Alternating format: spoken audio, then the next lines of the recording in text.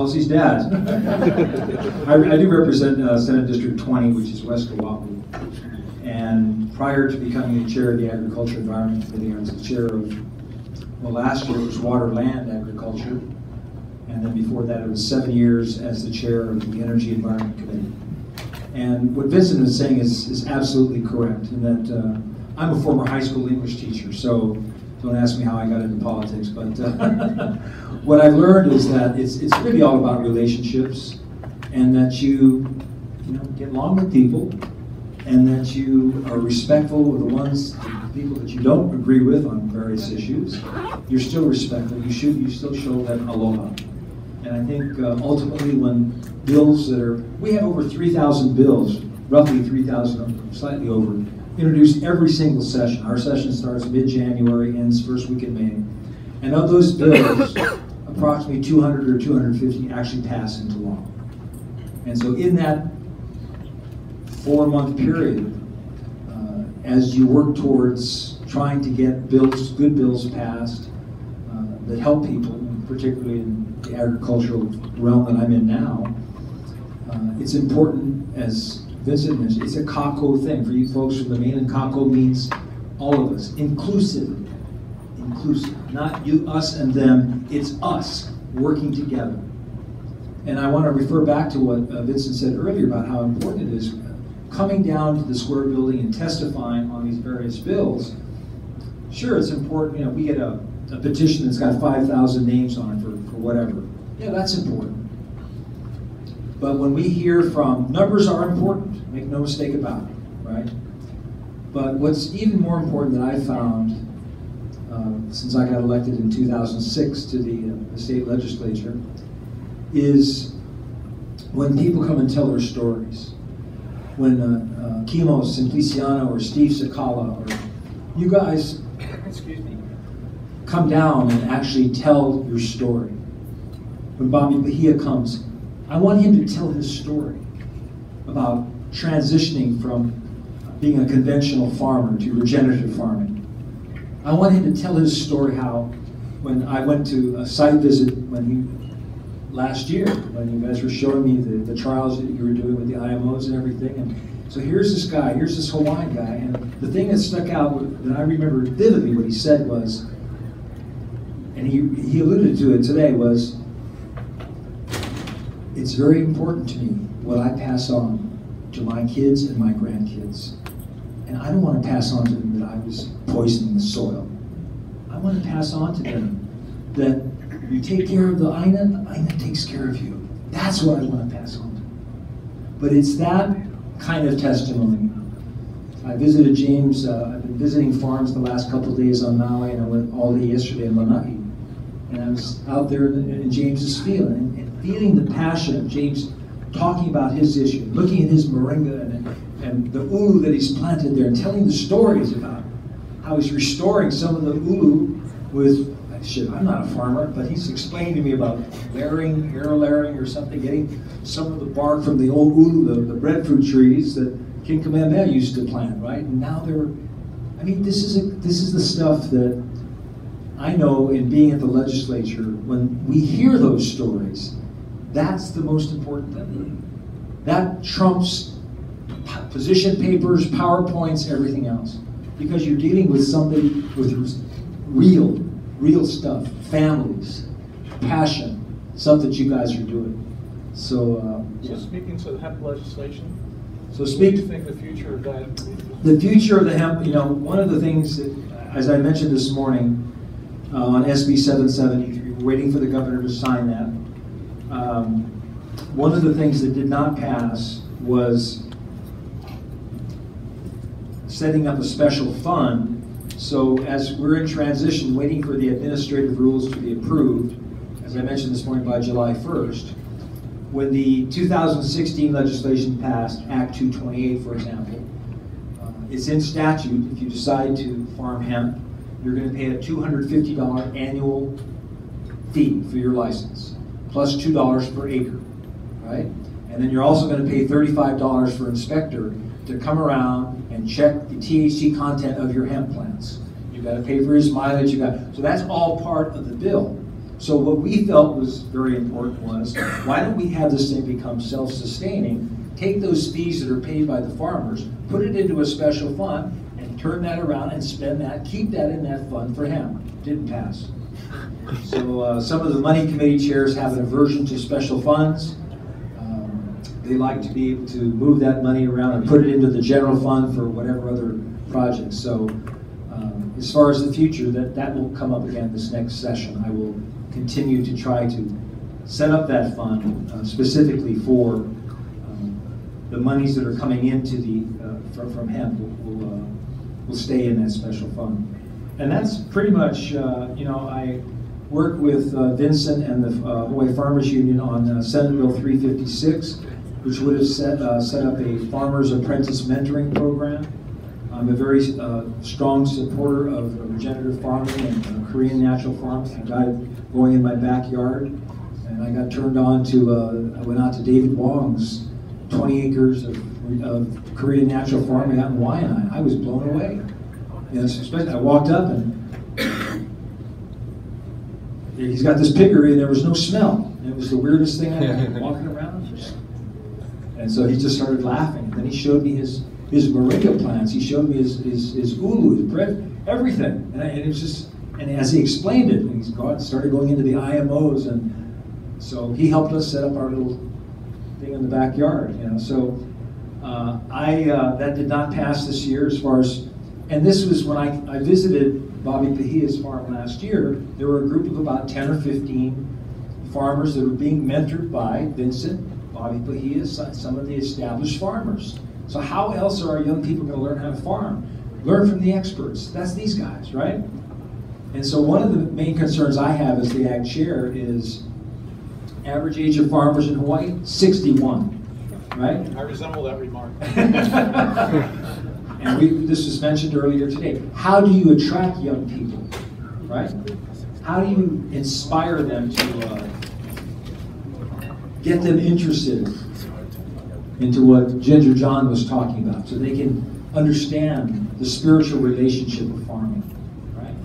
And that's one of the things I'm working on, uh, continue to work on with uh, some folks who are putting together some ads, some uh, doing some digital marketing stuff. But uh, hopefully, hopefully that's going to be rolled out in the, in the near future. Senator Gabbard, could you please speak to also, What do you think the governor, I know a lot of people are pointing to the governor blocking, and uh, I don't get that from him. I don't really feel like he's, because I heard from Scott Enright that, you know, when he talked to the, the, the chair of uh, agriculture in Kentucky and Colorado, they were saying, man, if we had to do it all over again, we'd do it differently. And I brought this up with uh, John at, uh, from Ananda the other night at, uh, in Kihei when he spoke. And he was saying there's kind of like Dodge City. If anybody, if any of the leaders here from Colorado and that are sponsoring this convention, they can speak to that, that would be great. Because there seems to be some, um, you know, like any man that builds up something, there's always another man to tear it down or to bastardize it or, you know, to change it to where it's not Pono, you know? And so I, I don't think it's necessarily the governor blocking as more or less a thing, what's in the best interest of Hawaii at this point in time. Am I wrong or what is your uh, point? My perception of, and working with Scott at DOA, is that, uh, you know, he's been supportive. He's, uh, the fact that we are where we are has been helpful, and the governor has been supportive. He's going to continue. Um, As far as the, having the permitting done, and having the licenses distributed to farmers by the end of the year, I plan to bird dog this, and I plan to talk to Scott and make sure he didn't sign it in blood when he told me, but I want to make sure that this happens, that it's not just another one of these things, and then, oh, they come up with another excuse and it's not going to happen. So, but um, the fact that he's um, proclaimed at the World Conservation Congress in September that he wanted to double our local fruit production, words mean things. And so I think he understands that. Um, He's been criticized for having a, a different kind of uh, leadership skills in terms of, you know, he's an engineer, kind of a low-key guy, but uh, in my experience in talking with him and dealing with Scott, uh, it's been a good experience. And I- yeah. Thank you. Russell, yes, yes, Senator Rivera.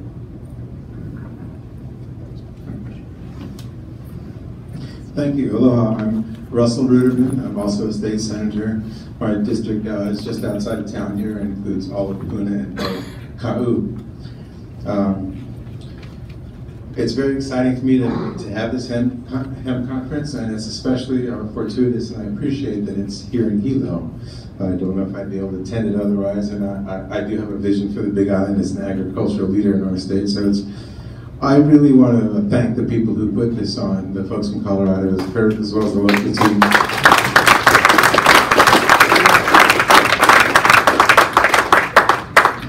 And I'm, I'm always excited when I'm in a room full of people who are really changing the world. You know, it reminds me of a famous saying by Margaret Mead, I think that never doubt that a small group of committed people can change the world. In fact, it's the only thing that ever has. And, you know, I think we're, we're seeing that here. Um, we all know about the importance of hemp for our environment, for our health and stuff. And you don't need me to tell you that. I do wear a second hat besides the state besides being a state senator, I wear a third, but the second one's relevant. The second one is I own a group of natural food stores on the island, as Vincent said. And we sell plenty of hemp products, as does any natural food store in, in the country these days.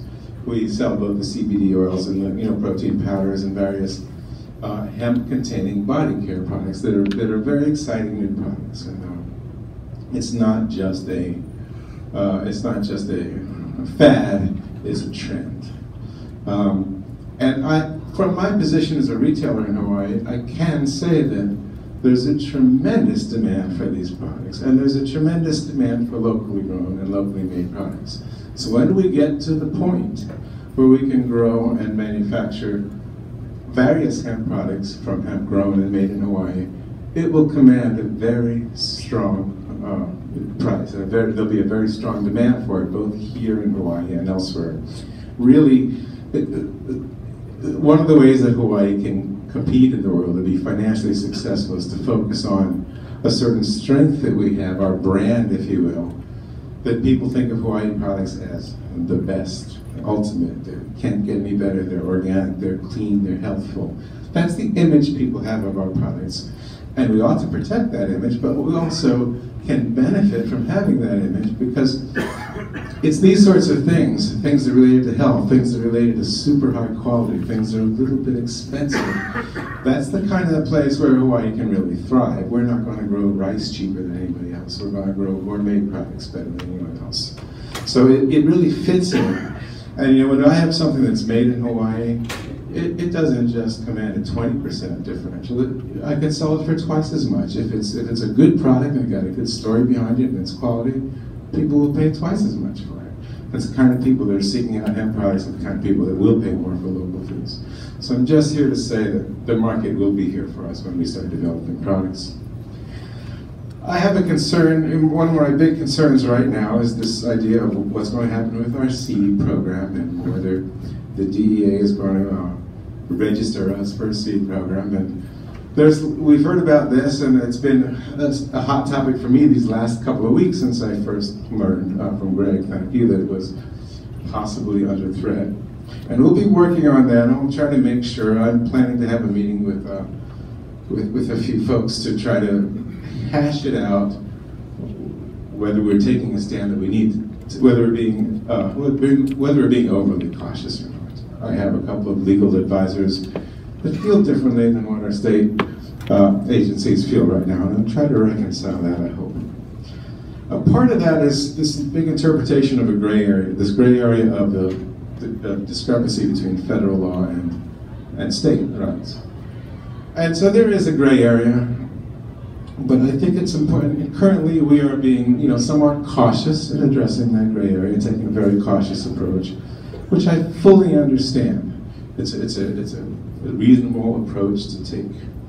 Um, but there is also a place for being bold. You know, sometimes we have to not be timid and not be cautious, and we have to be bold. And the question is, who are we siding with? Are we siding with the DEA? who has an opinion that maybe we need their registration, which is a questionable opinion that other states have apparently proven is not quite true? Or do we side with our farmers and our people and our economy who need us to be a little bit bold and perhaps push on this a little bit? So be very interested to see what happens in the next couple of weeks. But if the DEA registration doesn't come through, I will be working with Direct- Chair Enright and others and really trying to push, as well as the governor, to try to encourage them to be bold and to take a stand for our state and our farmers and our health. And th- th- perhaps that's more important than the DEA's opinion. I understand that we need to respect all those opinions and, and be cautious. Um, a couple of things that we can do about this situation. I think we can all tell our state representatives and uh, people at the head of, you know, the, the governor and the head of the Department of Agriculture how important it is to us. We can we can communicate to that to them in a respectful way, and I think it will matter. And I think that it'd be important to learn more about the law. There's quite a bit of information on the Department of Agriculture website, and I think we need, uh, if we don't already have one, forgive me, something like a Hawaii Hemp Advisory Group, some some organization that can be our voice because I think Mike will acknowledge when we see testimony in the, in the legislature, it's divided into three categories government agencies, organizations, individuals. The organization testimony carries extra weight, it looks more legitimate, and it's very easy to do. You don't have to do anything special to, to have an organization. And I, I encourage us to do that. I wanted to talk very briefly, you know, um, a lot of people think hemp is illegal because it's it's accidentally illegal because it's associated with marijuana, it's genetically associated with it. Whereas I think as a good case can be made, it's the other way around. Marijuana was was the poster child and the reason for cannabis, you know, the, the selling point, but the motivation for making cannabis illegal was the tremendous economic potential of hemp and the threat that that posed to our timber industries and our oil industries. And it's so we've kind of come full circle. And you know, we're at a point, at least I feel, where our planet, our Earth, doesn't have a lot of time to spare. We don't have a lot of time to fool around with the things that will help us with our major problems. And so for my, myself, I have a sense of urgency. You know, we've heard today about the urgency for farmers who are invested in this process, the ur- urgency based on economics, etc. I have a good friend uh, from Kauai named Gary Hooser. Some of you know him. He, he has a phrase that I like. He says, "I'm too old for incremental change and a study group." And you know, in politics, we like to do that. Let's just do a little bit. Let's just let's study it and come back in a couple years. It's very tempting. You know, it's always tempting to do that.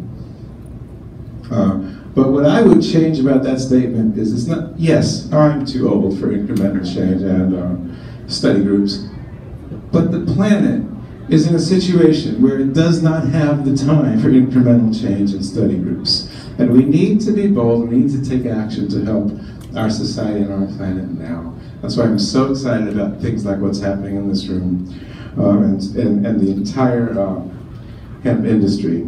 You know, it's it's really is up to us to save the planet. I think we've seen that it's going to be a do-it-yourself job, and we need to step up to the plate. And I'm so excited by what all of you folks are doing. Thank you very much. You know, just to clarify, to clarify something too, and with all due respect to Senator Ruderman, a Hawaiian elder once said to me, huh, Earth Day, kind of funny, yeah?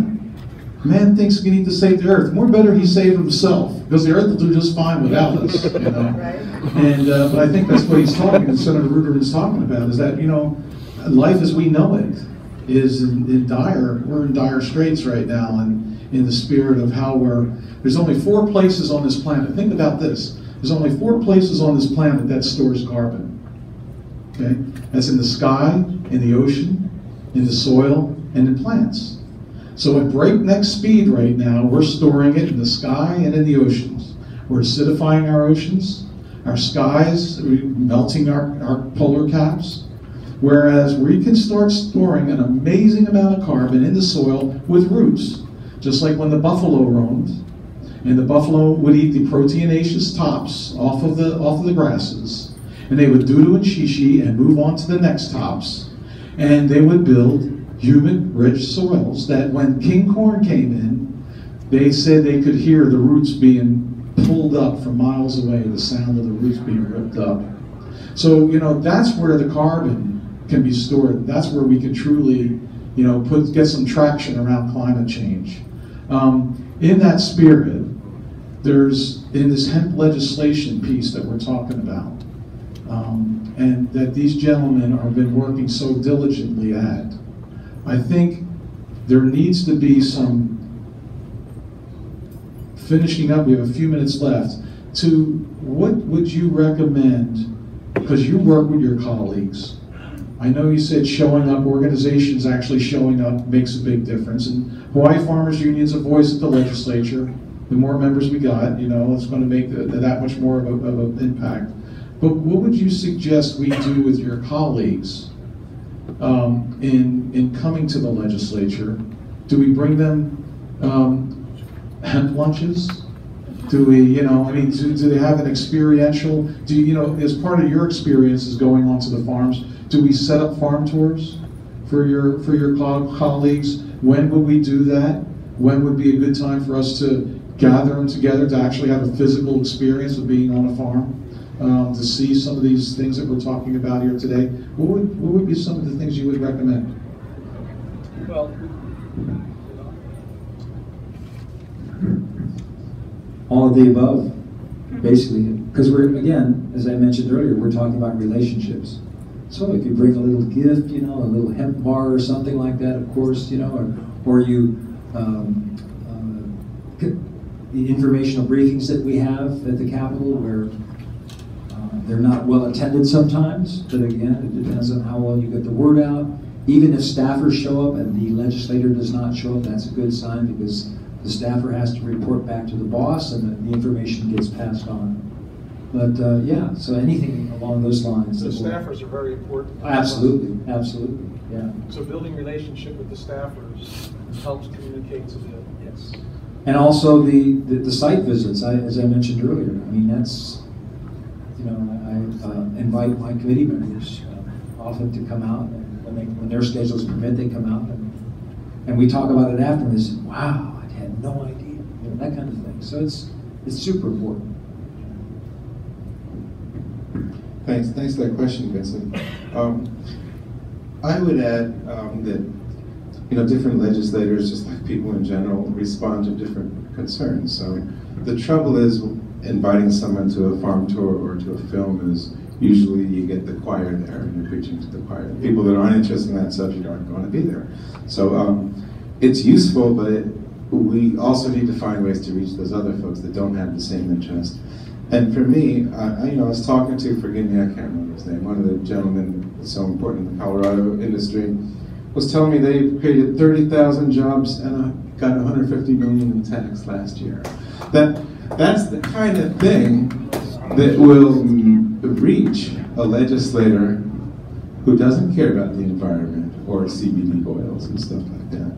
So, you know, we, we need to reach those guys too. And I think that uh, emphasizing some of those benefits, speaking in their language. It is important to get to know them, to, you know, talk to them, call them repeatedly, respectfully, but um, talk their language. If, if they tune out when you talk about the environment, then find something else. Maybe they care about tax money, or maybe they care about jobs in their district. And uh, th- we need those folks to get convinced also. great, thank you very much. Know who you're speaking to. Yeah. So um, there's a saying that goes like this if we're not at the table, we're part of the menu. So we have, um, um, we, we are at the table and we're in relationship with the folks that are making decisions. And I hope you put your trust in us and trust in these gentlemen to continue to know that they're working towards a, a future for us that truly is about the best and highest interest of people. So is there any questions? Is there a few questions, here, senators? Yeah, dear. Here, here's the mic. Greg, you're next. Hello, my name is Natek. Um, I've been lived on this island for about 30 years. I've been a cannabis aficionado for about 50 years, so I've been an activist for that long too. So I, and when Jack's book came out in 85 and I was enthralled, I was doing presentations, I was so excited about him. And mm, I was connected with the Hawaiian Hemp Company. Roger and Dwight started back in Pahoa, which incidentally was the first retail hemp company in the United States of America. Yay, Pahoa. And um, Answer your question for this. Yes, I have a question. I'm sorry, I'm used to these three-minute things, but I do definitely have a question. I'm trying to create a basket for who I am and why I'm asking this question. In the 90s, um, went to a lot of council meetings, of course, and and contributed in that way. Uh, One phrase, one hyphenated word came to us, cross-pollination. As soon as cross-pollination came into it, we all kind of went, whoa. There are a lot of people, myself included, who are dependent upon growing our own medical marijuana. We are very, very concerned about cross-pollination. I know that NPR, Tim was telling me that for the past week, there's been a a conversation on NPR with a lot of people saying, oh, it's a myth. It's not true. But of course it's true. Anybody who's in agriculture knows, knows there's a possibility of cross-pollination. Otherwise, why is there the problem with, with uh, Monsanto and the farmers next door to them? So I just want to know with you, are you taking us into consideration? Is there anything that you can conceive of or that you can, are, are willing to do to help us so that we can continue growing? Can you create safe areas? Is it even a thought? And I'm addressing everyone in this room, and I know this is perhaps the gorilla in the room that shouldn't have been brought up at this conference. I believe in hemp. I've always believed in hemp. But I'm also very concerned about the possibility that our medical marijuana thing is going to be taken away from the patients and turned completely over to the dispensary. So instead of me spending maybe forty-five dollars an ounce to grow it, I'm gonna have to spend three hundred and fifty dollars to buy it. And that's my statement. Appreciate that, thank you. I'm happy to try to address that. Please. Uh, Natek, regarding the last thing you said, one of, in, the- in this year's medical marijuana omnibus bill, we extended the caregiver provision and the grow it yourself provision for five years and in fact expanded it, which is the biggest concern that I hear from my district when I go out regarding what we got wrong with the medical marijuana law. And, you know, I represent Puna district and I've lived in Puna for thirty years. so I'm a little bit familiar with this phenomenon. Um, I do not personally believe that we're going to see a problem with cross-contamination of hemp. Russell, Okay, so let me try to explain why. The hemp farms are going to be few and far between first. They've got to get a license, they've got to be legitimate, uh, acting in commercial activities. They're not going to be your next door neighbors. They're not going to be down the street from you. They're going to be 20 miles away, 30 miles away, 5 miles away. Um, it- it's my understanding that pollen, cannabis pollen, doesn't in reality drift in the kind of real life situations that we have in Puna more than 100 or 200 yards. And if there's the occasional single pollen that drifts for a mile, that's really not a problem. That's not going to contaminate anybody's problem. So, yes, that is a concern. Medical marijuana and recreational marijuana are a big concern of mine and my communities, and I would never want to do anything to ruin them. And I do not believe that our experimentation with hemp poses any threat to that. If I did, I would uh, be trying to address it. I think we're a decade away from having hemp farms uh, uh, common enough for it to be a uh, contamination problem for marijuana. That's my belief. It's, I have a degree in botany. I have a little experience in Puna, and that's what I think is the reality of it. And I don't have enough concern for that to say, hold it. Let's not push forward as strongly as we can with this crop. It can save the world. So I think we can both uh, both things can exist. Thank you, sir. My auntie Craig Smith had a question. Can I, could I give him a question? Okay, Greg, please come here. I can just yell. Yeah. Um, you brought up the subject, uh, sort of the catch twenty-two question, um, which was, uh, that you won't have the money to have an inspector. So if you don't have an inspector, how can you give out permits?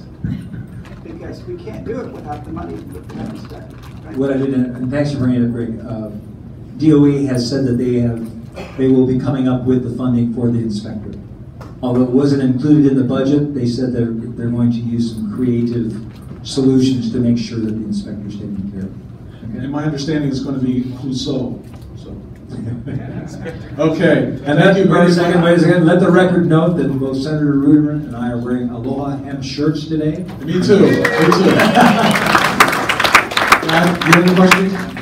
Uh, just a comment, a model that has been adopted in Colorado, for example, um, as far as our hemp seed uh, crossing with our medicinal crop, uh, one of the models that they're doing in Colorado is having certain counties or districts grow just hemp, or they just grow CBD, or they just grow medicine in different areas.